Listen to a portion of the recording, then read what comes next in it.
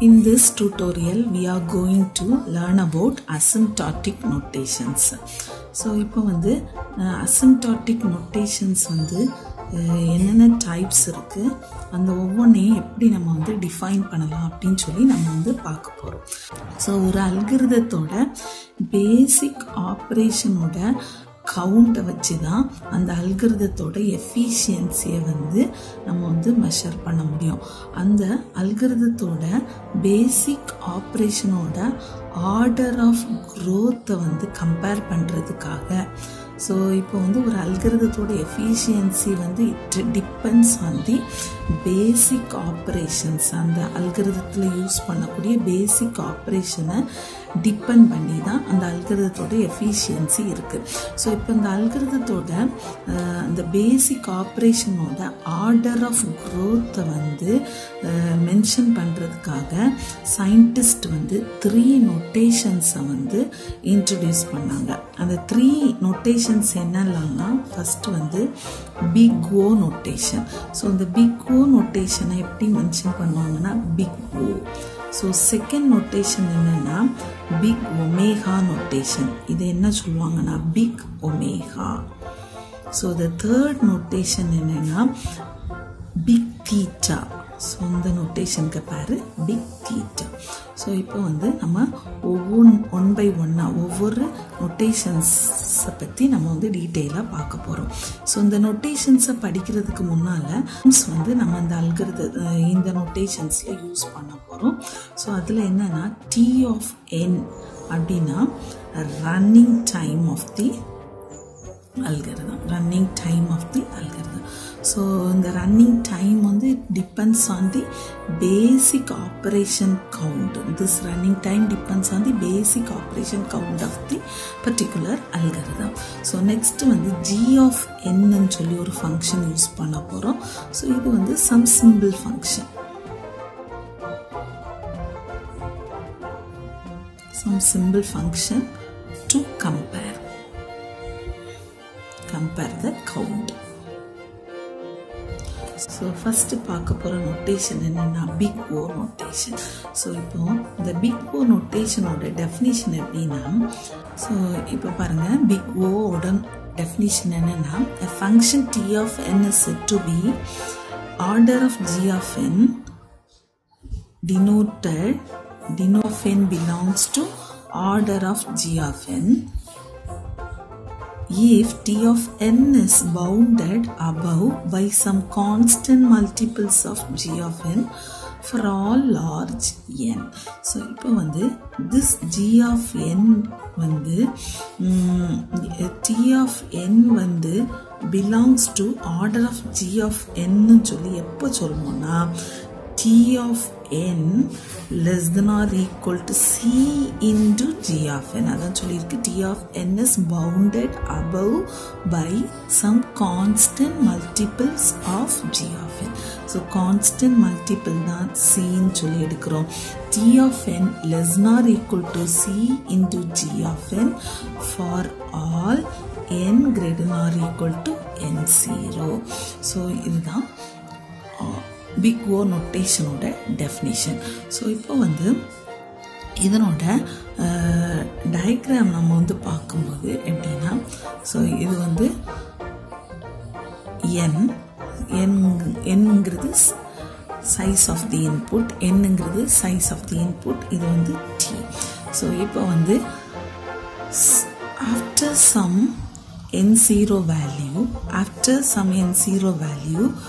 this t of n grows like this this c into g of n grows like this so this is called as here we have already defined the definition t of n is lesser than c into g of n so this is called as t of n this is called as c into g of n so example of big o notation கொடுத்துருக்காங்க hundred N plus five belongs to big O of n square. We have to prove like this. So, so if f of n belongs to order of g of n, f of n is said to be order of G of N then F F of N less or equal to C into G of N ஏற்கனவே நம்ம பார்த்துருக்கோம் so இப்போ நம்ம இதை வந்து proof prove பண்ணணும்னா f of n is less than or equal to c into g of என்னு சொல்லி எடுக்க போகிறோம் ஸோ எஃப் ஆஃப் என்னங்கிறது என்னென்னா hundred n plus five g of n வந்து n square so f of என்ங்கிறது என்னென்னா hundred n plus five less or equal to c into n square so இப்போ வந்து இப்போ இந்த சிக்கு என்ன வேல்யூ சப்ஸ்டியூட் பண்ணும்போது இந்த ஈக்குவேஷன் வந்து சாட்டிஸ்ஃபை ஆகும் அப்படின்னு சொல்லி நம்ம வந்து பார்க்க போகிறோம் ஸோ அப்போ இந்த சியோட வேல்யூவை நம்ம கண்டுபிடிக்கிறதுக்கு ஒரு அசம்ஷன் பண்ண போகிறோம் என்னென்னா இங்கே இருக்கக்கூடிய எல்லா டேம்லேயும் வந்து நம்ம என் சேர்க்க போகிறோம் அப்போ hundred n plus five n so is equal to hundred and five n so அப்போ சியோட வேல்யூ ஹண்ட்ரட் அண்ட் ஃபைவாக இருந்ததுன்னா so this condition is satisfy so if C becomes hundred and five if C becomes hundred and five then is equal to 1 that is n naught is equal to 1 then this condition is satisfied so we can say that 100 n plus 5 less than or equal to 105 n square 105 n square. So we can say that 100 of 100 n plus 5 belongs to order of n square order of n square. So like that we can prove the big o notation that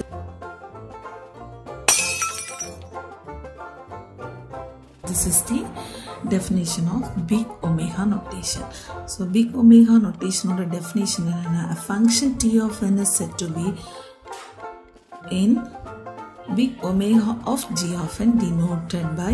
t of n belongs to big omega of g of n if t of n is bounded below by some constant multiple of g of n for all large n. So the equation can be written like this t of n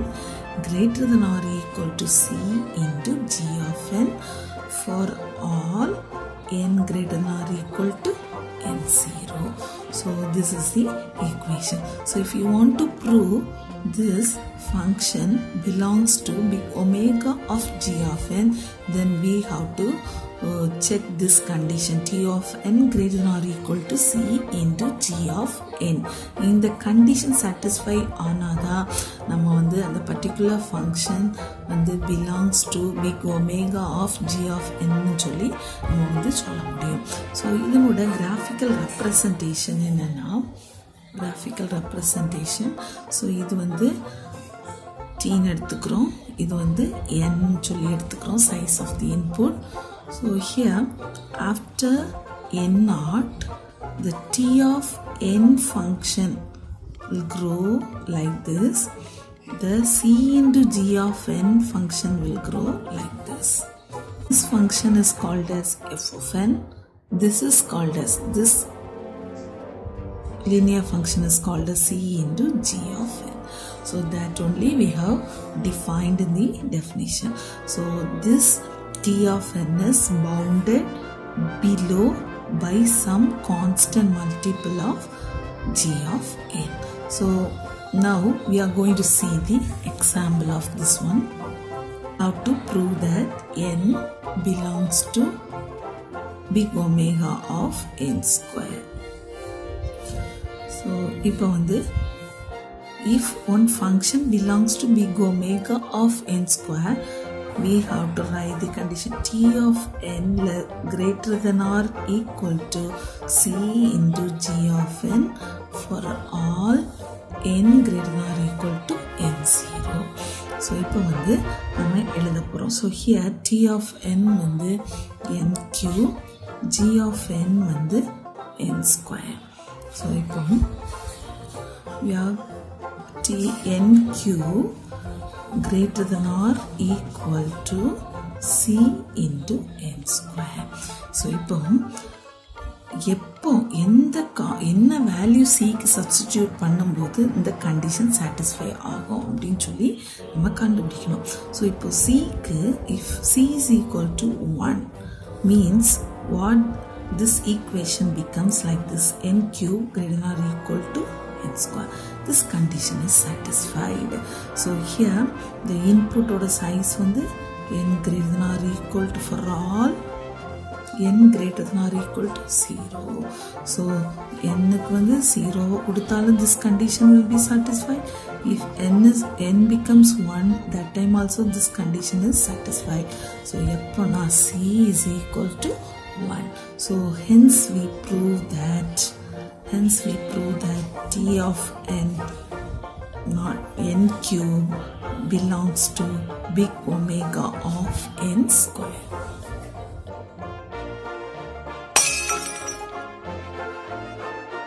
So the definition of theta notation is a function t of n is said to be in theta of g of n denoted by t of n belongs to theta of g of n if t of n is bounded both above and below